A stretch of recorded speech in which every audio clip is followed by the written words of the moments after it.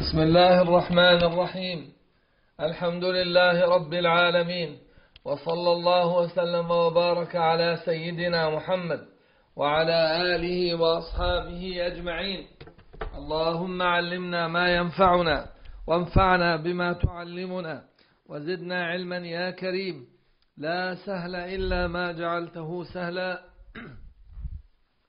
وأنت تجعل الحزن إذا شئت سهلا سهل لنا أمورنا وقلل نسياننا وافتح لنا نبأ بالخير وصلى الله وسلم وبارك على سيدنا محمد وعلى آله وأصحابه أجمعين.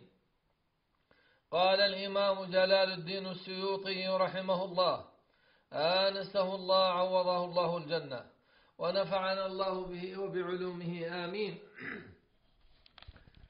في كتابه الدر المنثور في التفسير المأثور ووصلنا عند قوله رحمه الله وأخرج الأزرقي عن ابن عباس رضي الله عنهما قال حد عرفة من الجبل المشرف على بطن عرنة إلى أجبال عرفة إلى وصيق إلى ملتقى وصيق ووادي عرفة. وأخرج أبو داود وابن ماجة عن جابر بن عبد الله رضي الله عنهما أن رسول الله صلى الله عليه وسلم قال كل عرفة موقف وكل من منحر وكل المزدلفة موقف وكل فجاج مكة طريق ومنحر. وأخرج مسلم عن جابر أن رسول الله صلى الله عليه وسلم قال نحرتها هنا ومنا كلها منحر فانحروا في رحالكم ووقفتها هنا وعرفة كلها موقف ووقفتها هنا وجمع كلها موقف. وأخرج أحمد عن جبير بن مطعم عن النبي صلى الله عن النبي صلى الله عليه وسلم قال كل عرفات موقف وارفعوا عن عرنة وكل جمع موقف وارفعوا عن محسر وكل فجاج مكة منحر وكل أيام التشريق ذبح وأخرج أبو داود والترمذي واللفظ له وصححه. وابن ماجة عن علي رضي الله عنه قال وقف رسول الله صلى الله عليه وسلم بعرفة فقال هذه عرفتها وهو الموقف وعرفة كلها موقف.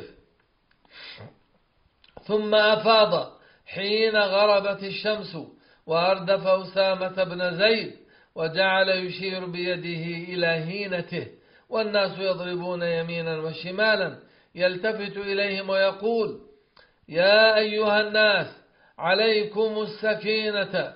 ثم أتى جمعا فصلى بهم الصلاتين جميعا فلما أصبح أتى قزح ووقف عليه وقال هذا قزح وهو الموقف وجمع كلها موقف. ثم أفاض حتى انتهى إلى وادي محسر فقرع ناقته فخبت حتى جاوز الوادي فوقف وأردف الفضل ثم أتى الجمرة فرماها ثم أتى المنحر فقال هذا المنحر ومنا كلها منحر. وأخرج ابن أبي شيبة وأبو داود والترمذي وحسنه والنسائي وابن ماجة والحاكم وصحح عن يزيد بن شيبان قال أتانا ابن مربع الأنصاري ونحن وقوف بالموقف فقال إني رسول رسول الله إليكم. يقول كونوا على مشاعركم فإنكم على إرث من إرث إبراهيم عليه السلام. وأخرج أبو داود عن ابن عباس رضي الله عنهما قال أفاض رسول الله صلى الله عليه وسلم من عرفة وعليه السكينة ورديفه أسامة فقال يا أيها الناس عليكم بالسكينة فإن البر ليس بإيجاف الخيل والإبل. قال فما رأيتها رافعة يديها عادية حتى أتى جمعا. ثم أردف الفضل بن العباس فقال أيها الناس إن البر ليس بإيجاف الخيل والإبل فعليكم بالسكينة. قال فما رأيتها رافعة يديها حتى أتى منا وأخرج البخاري عن ابن عباس رضي الله عنهما أنه دفع مع النبي صلى الله عليه وسلم يوم عرفة فسمع النبي صلى الله عليه وسلم وراءه زجرا شديدا وضربا للإبل فأشار بسوطه إليهم وقال أيها الناس عليكم بالسكينة فإن البر ليس بالإيضاع. وأخرج الحاكم وصححه. وأخرج الحاكم وصححه. عن ابن عباس رضي الله عنهما قال إنما كان بدء الإيعاض من أهل البادية والإيضاع هنا إذا حمل بعيره على سرعة السير. إنما كان بدء الإيضاع من أهل البادية كانوا يقفون حافتي الناس قد علقوا العقاب والعصية فإذا أفاضوا تقعقعوا فأنفرت الناس. فلقد رأيت رسول الله صلى الله عليه وسلم وإن ظفري ناقته لا يمس الأرض حاركها وهو يقول يا أيها الناس عليكم بالسكينة. وأخرج البخاري ومسلم وأبو داود والنسائي وابن ماجه عن أسامة بن زيد رضي الله عنهما أنه سئل كيف كان رسول الله صلى الله عليه وسلم يسير؟ حين أفاض من عرفة وكان رسول الله صلى الله عليه وسلم أردفه من عرفات قال كان يسير العنق كان يسير العنق فإذا وجد فجوة نص وأخرج ابن خزيمة عن ابن عمر رضي الله عنهما أن رسول الله صلى الله عليه وسلم وقف حتى غربت الشمس فأقبل يكبر الله ويهلله ويعظمه ويمجده حتى انتهى إلى المزدلفة. والعنق والنص نوعان من إسراع السير وفي العنق نوع من الرفق كما جاء في صحيح مسلم بشرح الإمام النووي رحمه الله. وأخرج الطبراني في الأوسط عن ابن عمر رضي الله تعالى عنهما أن رسول الله صلى الله عليه وسلم أفاض من عرفات وهو يقول إليك تعدو قلقا وضينها معترضا في بطنها جنينها مخالفا دين النصارى دينها. وأخرج الشافعي في الأم وعبد الرزاق في المصنف وسعيد بن منصور عن عروة بن الزبير رضي الله عنهما أن عمر بن الخطاب رضي الله عنه حين دفع من عرفة قال إليك تعدو قلقا وضينها معترضا في بطنها جنينها مخالفا دين النصارى دينها.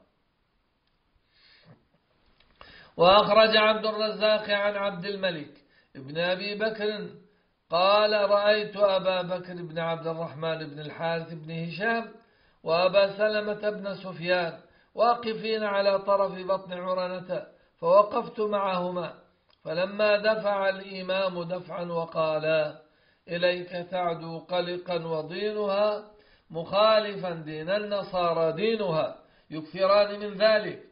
وزعم أنه سمع أبا بكر بن عبد الرحمن يذكر أن رسول الله صلى الله عليه وسلم كان يقولها إذا دفع.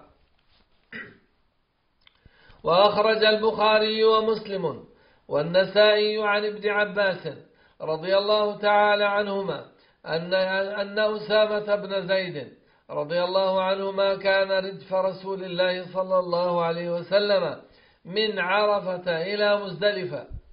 ثم أردف الفضل من المزدلفة إلى منى فكلاهما قال لم يزل النبي صلى الله عليه وسلم يلبي حتى رمى جمرة العقبة. وأخرج مسلم عن أسامة بن زيد رضي الله عنهما أنه كان رديف رسول الله صلى الله عليه وسلم حين أفاض من عرفة فلما جاء الشعب أناخ راحلته ثم ذهب إلى الغائط فلما رجع صببت عليه من الإداوة فتوضأ ثم ركب ثم أتى المزدلفة فجمع بها بين المغرب والعشاء. وأخرج الإمام مسلم وأبو داود والترمذي والنسائي عن ابن عمر رضي الله عنهما قال جمع رسول الله صلى الله عليه وسلم بين المغرب والعشاء بجمع صلى المغرب ثلاثا والعشاء ركعتين بإقامة واحدة. قوله تعالى فاذكروا الله عند المشعر الحرام فأخرج وكيع وسفيان وابن أبي شيبة وعبد بن حميد وابن جرير وابن أبي حاتم والأزرقي في تاريخ مكة والبيهقي في سننه. عن عبد الله ابن عمرو رضي الله عنهما أنه سئل عن المشعر الحرام فسكت حتى إذا هبطت أيدي الرواحل بالمزدلفة. قال هذا المشعر الحرام. وأخرج عبد الرزاق وعبد بن حميد وابن جرير وابن أبي حاتم والحاكم وصححه. عن ابن عمر رضي الله عنهما قال المشعر الحرام مزدلفة كلها. وأخرج عبد الرزاق وعبد بن حميد وابن جرير عن ابن عمر رضي الله عنهما أنه رأى الناس يزدحمون على قزح فقال على ما يزدحم هؤلاء؟ كل ما هو هنا كل ما ها هنا مشعر. وأخرج سعيد بن منصور وابن جرير وابن المنذر والبيهقي في سننه عن ابن عمر رضي الله عنهما في قوله فاذكروا الله عند المشعر الحرام. قال هو الجبل وما حوله. وأخرج ابن جرير عن ابن عباس رضي الله عنهما مثله. وأخرج عبد بن حميد وابن جرير وابن المنذر عن ابن عباس رضي الله عنهما قال ما بين الجبلين اللذين بجمع مشعر؟ وأخرج ابن أبي شيبة عن سعيد بن جبير رحمه الله تعالى قال ما بين جبلي مزدلفة فهو المشعر الحرام. وأخرج ابن أبي شيبة عن عبد الرحمن بن الأسود قال لم أجد أحدا يخبرني عن المشعر الحرام. وأخرج الإمام مالك وابن جرير عن عبد الله بن الزبير رضي الله عنهما قال عرفة كلها موقف إلا بطن عرنا والمزدلفة كلها موقف إلا بطن محسر. وأخرج الأزرقي والحاكم وصححه. عن ابن عباس رضي الله عنهما قال كان يقال ارتفعوا عن محسر وارتفعوا عن عرنات.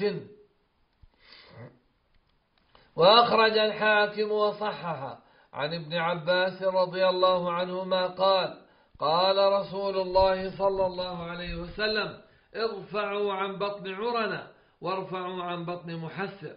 وأخرج الأزرقي عن ابن جريج قال قلت لعطاء أين المزدلفة؟ قال المزدلفة إذا أفضيت من مأزمي عرفة فذلك إلى محسر. وليس المأزمان مأزما عرفة من المزدلفة ولكن مفضاهما. قال قف بأيهما شئت وأحب إلي أن تقف دون قزح. وأخرج الحاكم وصححه عن جابر رضي الله عنه أن رسول الله صلى الله عليه وسلم قال حين وقف بعرفة هذا الموقف وكل عرفة موقف وقال حين وقف على قزح هذا الموقف وكل المزدلفة موقف. وأخرج ابن خزيمة عن ابن عمر رضي الله عنهما أن رسول الله صلى الله عليه وسلم كان يقف عند المشعر الحرام ويقف الناس ويدعون الله ويكبرونه ويهللونه ويمجدونه ويعظمونه حتى يدفع إلى منى.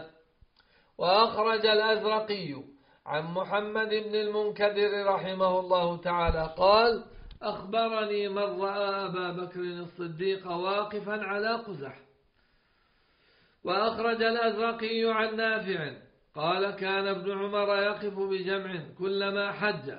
على قزح نفسه لا ينتهي حتى يتخلص عنه فيقف عليه مع الإمام كلما حج.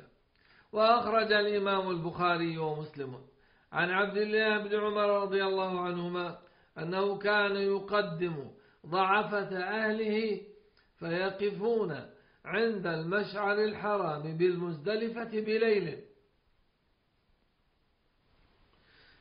فيذكرون الله ما بدا لهم ثم يدفعون قبل أن يقف الإمام وقبل أن يدفع. فمنهم من يقدم منا لصلاة الفجر ومنهم من يقدم بعد ذلك. فإذا قدموا رموا الجمرة. فإذا قدموا رموا الجمرة وكان ابن عمر رضي الله عنهما يقول أرخص في أولئك رسول الله صلى الله عليه وآله وسلم. وأخرج أبو داود الطيالسي والإمام أحمد والبخاري ومسلم وأبو داود والترمذي والنسائي وابن ماجة عن عمرو بن ميمون. قال سمعت عمر بن الخطاب بجمع بعدما صلى الصبح وقف فقال إن المشركين كانوا لا يفيضون حتى تطلع الشمس ويقول أشرق ثبير وإن رسول الله صلى الله عليه وسلم خالفهم فأفاض قبل طلوع الشمس. وأخرج الأزرقي عن كليب الجهني قال رأيت النبي صلى الله عليه وسلم في حجته وقد دفع من عرفة إلى جمع والنار توقد بالمزدلفة وهو يؤمها حتى نزل قريبا منها وأخرج الأزرقي عن ابن عمر رضي الله عنهما قال كانت النار توقد على عهد رسول الله صلى الله عليه وسلم. وأبي بكر وعمر وعثمان رضي الله تعالى عنهم أجمعين. وأخرج الأزرقي عن إسحاق بن عبد الله بن خارجة عن أبيه قال لما أفضى سليمان بن عبد الملك بن مروان من المأزمين نظر إلى النار التي على قزح فقال لخارجة بن زيد يا أبا زيد من أول من صنع هذه النار ها هنا قال خارجة كانت في الجاهلية وضعتها قريش وكانت لا تخرج من الحرم إلى عرفة. وتقول نحن أهل الله. وكانت لا تخرج من الحرم إلى عرفة وتقول نحن أهل الله. قال خارجة فأخبرني رجال من قومي أنهم رأوها في الجاهلية وكانوا يحجون منهم حسان بن ثابت.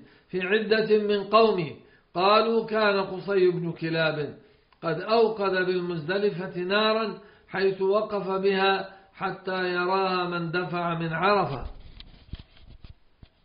وأخرج الإمام البخاري واللفظ له ومسلم وأبو داود والنسائي عن عبد الرحمن بن يزيد قال خرجت مع عبد الله بن مكة ثم قدمنا جمعا فصلى الصلاتين كل صلاة وحدها بأذان وإقامة والعشاء بينهما ثم صلى الفجر حين طلع الفجر. قائل يقول طلع الفجر. وقائل يقول لم يطلع الفجر.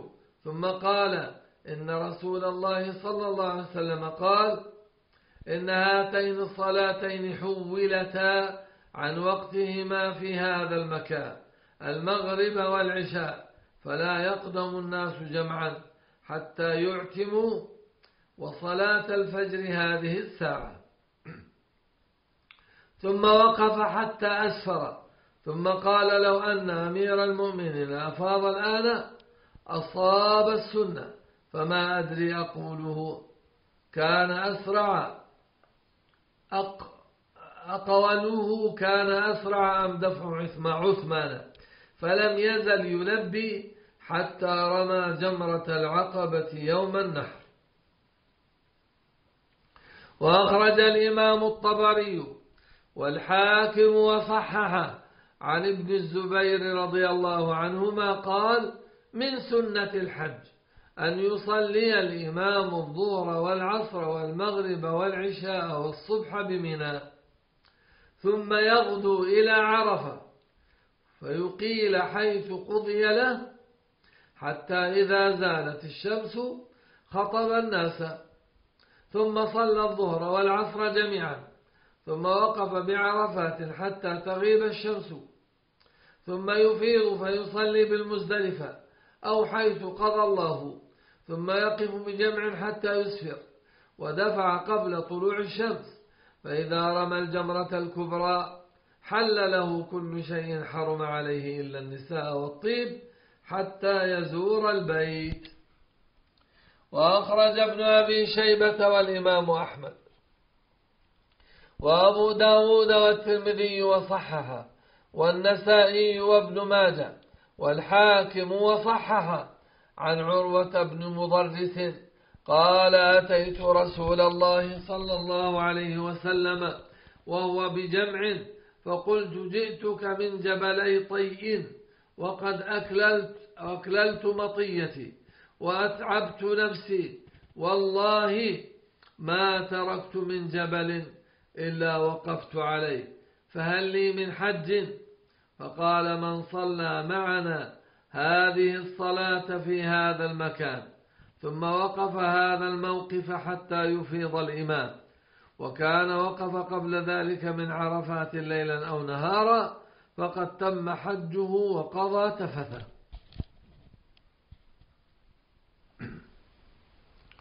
وأخرج الشافعي وأخرج الإمام الشافعي رحمه الله تعالى عن ابن عمر رضي الله عنهما قال من أدرك ليلة النحر من الحاج فوقف بجبال عرفة قبل أن يطلع الفجر فقد أدرك الحج. ومن لم يدرك عرفة فيقف بها قبل أن يطلع الفجر فقد فاته الحج. فليأتي البيت فليطف به سبعا وليطف بين الصفا والمروة سبعا ثم ليحلق أو يقصر إن شاء. وإن كان معه هديه فلينحره قبل أن يحلق. فإذا فرغ من طفافه وسعيه فليحلق أو يقصر ثم ليرجع إلى أهله.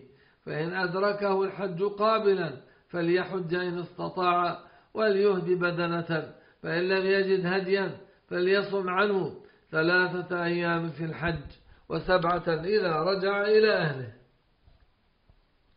وأخرج الإمام مسلم والنسائي عن عبد الرحمن بن يزيد أن عبد الله بن مسعود رضي الله عنه لبى حين أفاض من جمع فقيل أعرابي هذا. فقيل أعرابي هذا فقال عبد الله أنسي الناس أم ضلوا؟ سمعت الذي أنزلت عليه سورة البقرة يقول يقول في هذا المكان لبيك اللهم لبيك. قوله تعالى واذكروه كما هداكم. اللهم اهدنا فيمن هديت. وألهمنا رشدنا يا رب العالمين. أخرج ابن أبي حاتم والطبراني عن ابن الزبير رضي الله عنهما في قوله واذكروه كما هداكم. قال ليس هذا بعام هذا لأهل البلد. كانوا يفيضون كانوا يفيضون من جمع ويفيض سائر الناس من عرفات فأبى الله تعالى لهم ذلك فأنزل الله ثم أفيضوا من حيث أفاض الناس. وأخرج عبد بن حميد عن سفيان رحمه الله وإن, كنت وإن كنتم من قبله قال من قبل القرآن. وأخرج ابن أبي حاتم عن مجاهد وإن كنتم من قبله لمن الضالين. قال لمن الجاهلين. وأخرج الإمام مسلم وأبو داود والنسائي عن جابر رضي الله عنه قال رأيت رسول الله صلى الله عليه وسلم يرمي على راحلته يوم النحر ويقول لتأخذوا مناسككم فإني لا أدري لعلي لا أحج بعد حجتي هذه. وأخرج ابن أبي شيبة ومسلم وأبو داود والنسائي وابن ماجة عن جعفر بن محمد عن أبيه رضي الله عنهم قال دخلنا على جابر بن عبد الله رضي الله عنهما فقلت أخبرني عن حجة رسول الله صلى الله عليه وسلم. فقال إن رسول الله صلى الله عليه وسلم مكث تسع سنين لم يحج. ثم أذن ثم أذن في الناس في العاشرة. إن رسول الله صلى الله عليه وسلم حاج. فقدم المدينة بشر كثير. كلهم يلتمس أن يأتم برسول الله صلى الله عليه وسلم ويعمل بمثل عمله. فخرج رسول الله صلى الله عليه وسلم وخرجنا معه حتى أتينا ذا الحليفة. فصلى رسول الله صلى الله عليه وسلم في المسجد ثم ركب القصواء حتى استوت به ناقته على البيداء. ورسول الله صلى الله عليه وسلم بين أظهرنا وعليه ينزل القرآن وهو يعلم تأويله فما عمل به من شيء عملنا به. فأهل بالتوحيد. لبيك اللهم لبيك. لبيك لا شريك لك لبيك. إن الحمد والنعمة لك والملك لا شريك لك. وأهل الناس بهذا الذي يهلون به. فلم يرد عليهم رسول الله صلى الله عليه وسلم شيئا منه. ولزم رسول الله صلى الله عليه وسلم تلبيته حتى إذا أتينا البيت معه استلم الركن. فرمل ثلاثا ومشى أربعا. ثم تقدم إلى مقام إبراهيم عليه السلام. فقرأ واتخذوا من مقام إبراهيم مصلى. فجعل المقام فجعل المقام بينه وبين البيت. فصلى ركعتين يقرأ فيهما بقل هو الله أحد وبقل يا أيها الكافرون. ثم رجع إلى البيت فاستلم الركن. ثم خرج من الباب إلى الصفا. فلما دنا من الصفا قرأ. إن الصفا والمروة من شعائر الله. نبدأ بما بدأ الله تعالى به فبدأ بالصفا فرقى عليه حتى رأى البيت فكبر الله ووحده وقال لا إله إلا الله وحده لا شريك له له الملك وله الحمد يحيي ويميت وهو على كل شيء قدير. لا إله إلا الله وحده أنجز وعده ونصر عبده. وهزم الأحزاب وحده ثم دعا بين ذلك وقال مثل هذا ثلاث مرات ثم نزل إلى المروة حتى إذا انصبت قدماه رمل في بطن الوادي حتى إذا صعد مشى حتى أتى المروة فصنع على المروة مثل ما صنع على الصفا حتى إذا كان آخر الطواف على المروة قال إني لو استقبلت من أمري ما استدبرت لم أسق الهدي. ولجعلتها عمرة فمن كان منكم ليس معه هدي فليحلل وليجعلها عمرة فحل الناس كلهم وقصروا إلا النبي صلى الله عليه وسلم ومن كان معه هدي. فلما كان يوم التربية وجهوا إلى منى أهلوا بالحج فركب رسول الله صلى الله عليه وسلم فصلى بمنى الظهر والعصر والمغرب والعشاء والصبح ثم مكث قليلا حتى طلعت الشمس وأمر بقبة له من شعر فضربت بنمرة فسار رسول الله صلى الله عليه وسلم. ولا تشك قريش أن رسول الله صلى الله عليه وسلم واقف عند المشعر الحرام بالمزدلفة. فلما كانت قريش تصنع في الجاهلية فأجاز رسول الله صلى الله عليه وسلم. ولا تشك قريش أن رسول الله صلى الله عليه وسلم واقف عند المشعر الحرام بالمزدلفة كما كانت قريش تصنع في الجاهلية.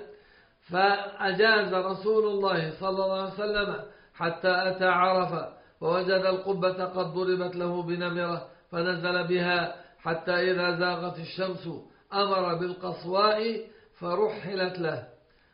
فركب حتى أتى بطن الوادي فخطب الناس فقال إن دماءكم وأموالكم عليكم حرام كحرمة يومكم هذا. إن دماءكم وأموالكم عليكم حرام كحرمة يومكم هذا في شهركم هذا في بلدكم هذا. ألا إن كل شيء من أمر الجاهلية تحت قدمي موضوع ودماء الجاهلية موضوعة, موضوعة وأول دم أضعه دم ابن ربيعة بن الحارث بن عبد المطلب. وربا وربا الجاهلية موضوع وأول ربا أضعه ربا عباس بن عبد المطلب. فإنه موضوع كله. اتقوا الله في النساء فإنكم أخذتموهن بأمانة الله واستحللتم فروجهن بكلمة الله وإن لكم عليهن ألا يؤطئن فرشكم أحدا تكرهون. فإن فعلنا فاضربوهن ضربا غير مبرح ولهن عليكم رزقهن وكسوتهن بالمعروف. وصلى الله وسلم وبارك على سيدنا محمد وعلى آله وأصحابه أجمعين. ولنا لقاء آخر نكمل به حديث جابر بن عبد الله رضي الله تعالى عنهما الطويل. آمين. اللهم آمين. إن شاء الله تعالى.